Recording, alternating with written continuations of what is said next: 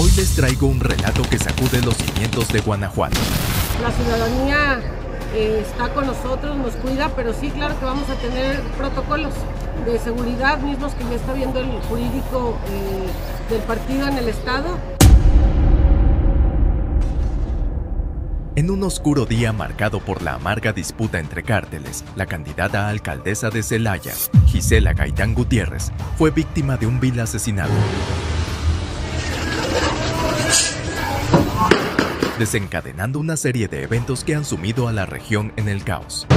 Acompáñenme en este viaje mientras exploramos los hechos que han desencadenado una escalada de violencia, tensiones electorales y acusaciones entre las autoridades estatales y federales. Este es un relato que no querrás perderte. Comencemos. En un sombrío día en Guanajuato, marcado por la amarga disputa entre dos cárteles, la ciudad cayó en las garras de la delincuencia organizada tras el vil asesinato de la candidata alcaldesa. Este trágico suceso ha abierto un nuevo y doloroso capítulo en la historia de la región, con la presencia militar desplegada en las calles, avivando tanto los ánimos electorales como el intercambio de acusaciones entre las autoridades estatales y federales. Sin embargo, retrocedamos en el tiempo para comprender la profundidad de este drama. El video que ahora presencias fue captado en la tarde de un lúgubre lunes primero de abril.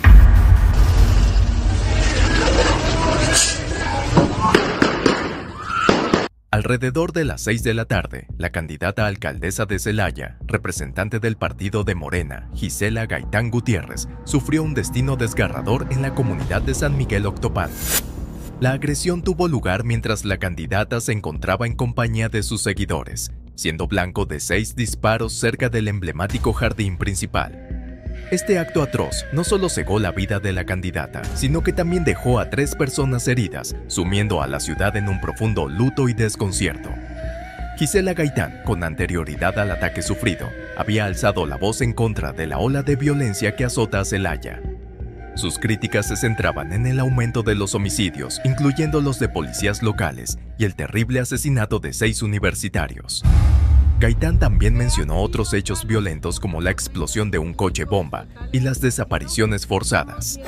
Ante esta grave situación, la candidata propuso la creación de una Secretaría de Seguridad Ciudadana enfocada en la prevención del delito y en la dignificación de las condiciones de los elementos de seguridad, Celaya se encuentra en una situación crítica, figurando entre los 16 municipios con mayor aumento de homicidios dolosos entre 2023 y 2024, según datos oficiales.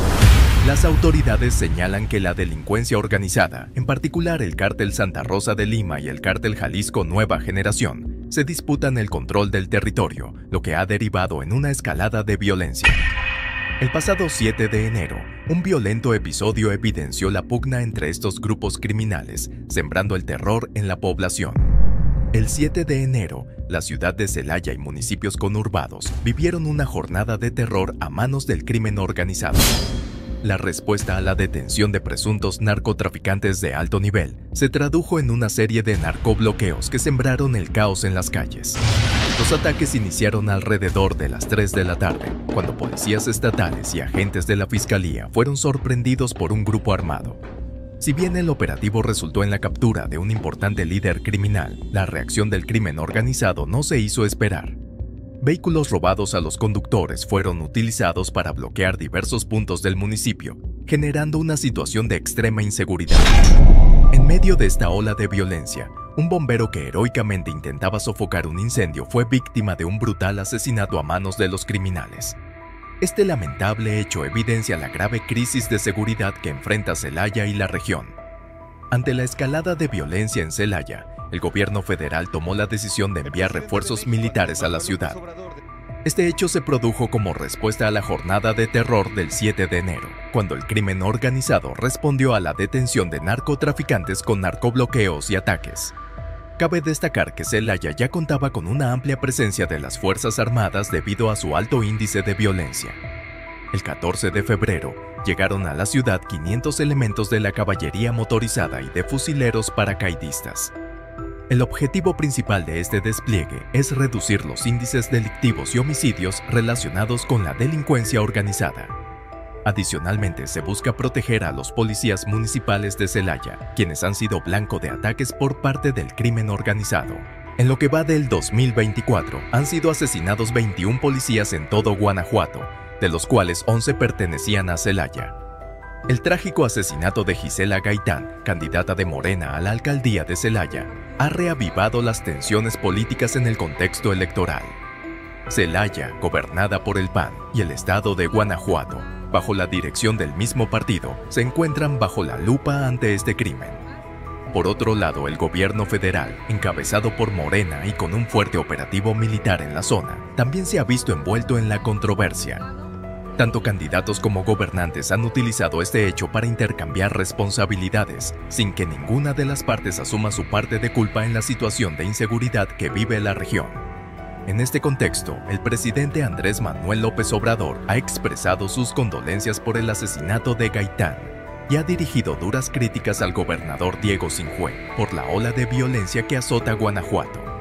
Es un día triste para la democracia mexicana. El asesinato de una candidata en plena campaña electoral es un hecho que no debe ser tolerado. El gobernador ejerce el gobierno pero carece de autoridad real. Esa es la cruda verdad. Aunque lamentablemente es una buena persona, ya no podemos permanecer en silencio. La situación es insostenible al igual que sucedió con el presidente, se desataron acusaciones mutuas y un intento de deslindar responsabilidades.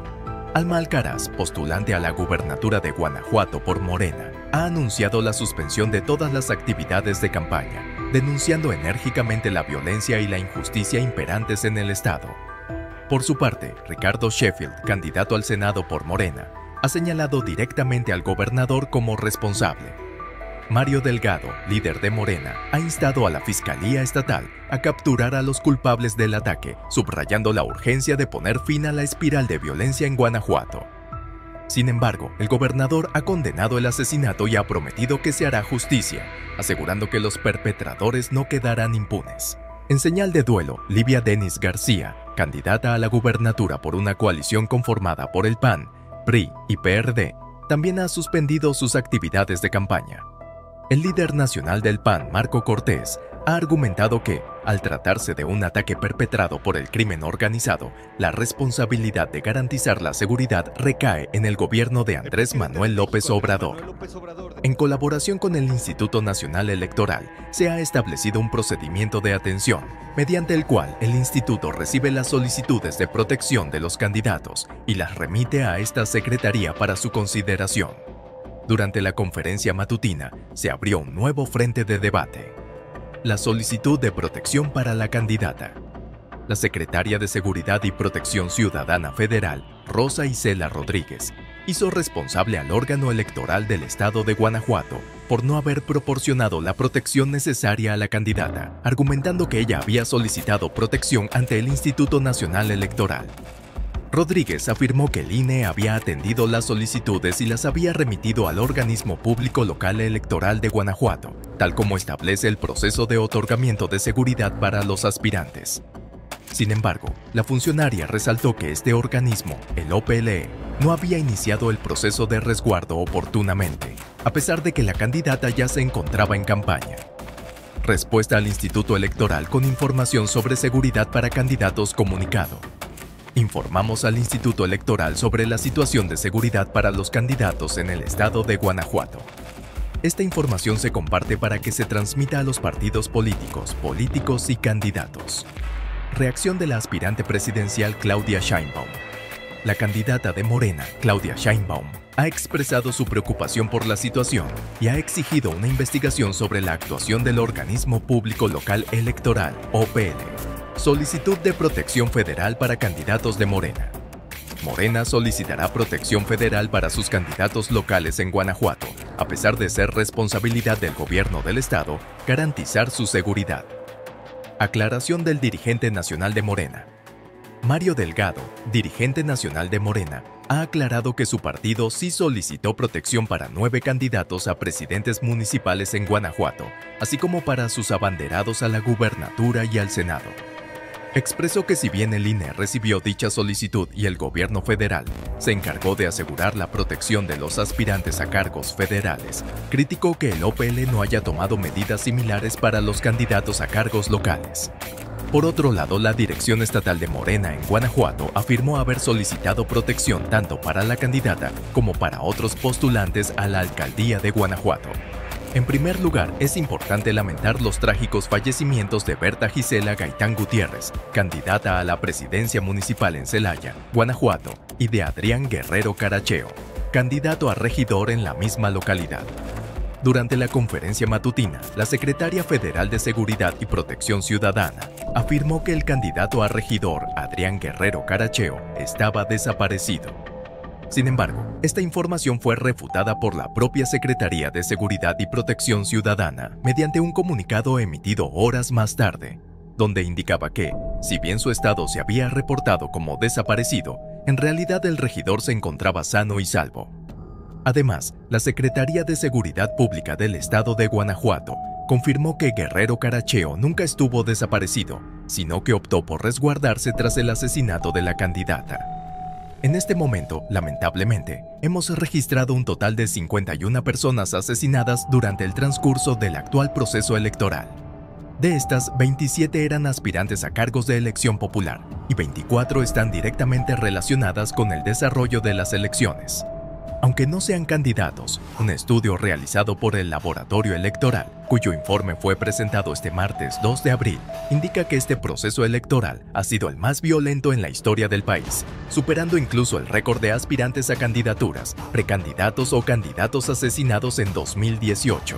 Es importante señalar que apenas el pasado 14 de febrero, el presidente de México declaró que no percibía violencia electoral en las elecciones actuales y sugirió que la tendencia iba a disminuir.